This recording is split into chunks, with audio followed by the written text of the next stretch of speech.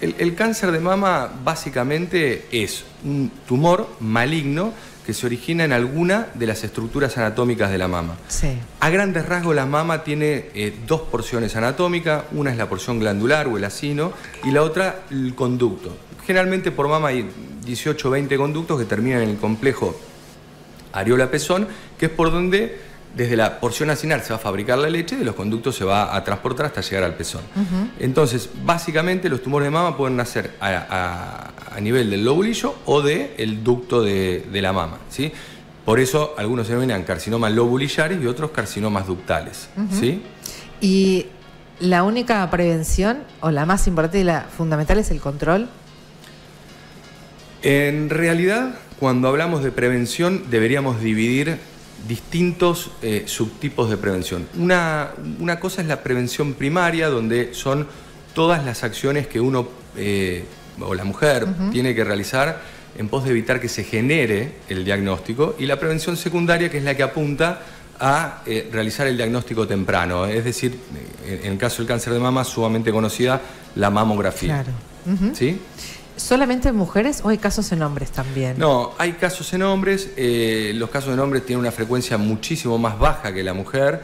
Eh, es bastante anecdótico y, los hombres eh, no tenemos programas de tamizaje o screening para realizar en relación al cáncer de mama debido a la baja frecuencia. Los hombres tenemos, por ejemplo, de próstata, de colon, que también tiene la mujer a partir de determinada edad, pero puntualmente de la mama no. De la mama Imagínate, eh, en nuestro país, en Argentina, hay entre 20 y 22 mil nuevos casos por año de cáncer de mama y eh, es el más frecuente de los tumores malignos en la mujer y tiene una tasa de mortalidad de más o menos 6.000 a 6.500 eh, casos y muertes por año.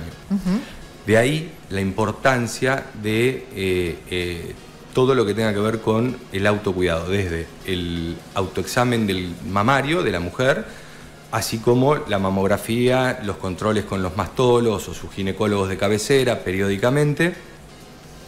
Eh, en pos de lo que te explicaba antes, es muy importante, la curación depende del estadio en que se hace el diagnóstico. Para darte un ejemplo concreto con números y tú lo puedas cuantificar. Mm. Si el diagnóstico se hace cuando el nódulo, es decir, la neoplasia mide un centímetro, la tasa de curación supera el 90%. Si lo hacemos cuando ya mide 3 centímetros, el, porcentaje de curación está por encima del 50, pero ya cuando mide más de 5 centímetros, eh, la tasa de curación disminuye alrededor de entre el 30 y el 40.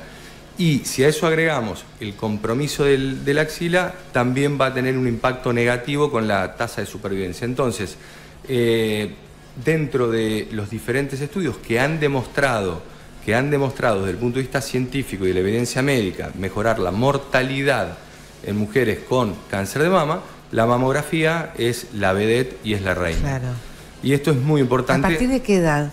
Bueno, ¿Viste que se discute, viste? Dices a partir de los 40, antes. ¿Cuándo se hace? Bien. Es como acabas de decir vos, hay discusión, hay controversias. Eh, en nuestro país, de todos modos, está bastante claro.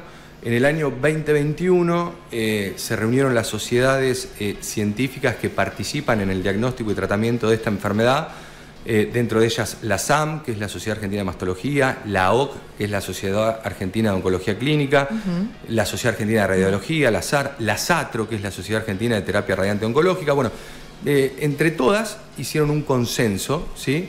Y este consenso es, a partir de los 40 años, una mamografía por año, ¿sí? Eh, hasta que la paciente, eh, y esta indicación se mantiene hasta que la paciente tenga una expectativa de vida superior a los 5 años.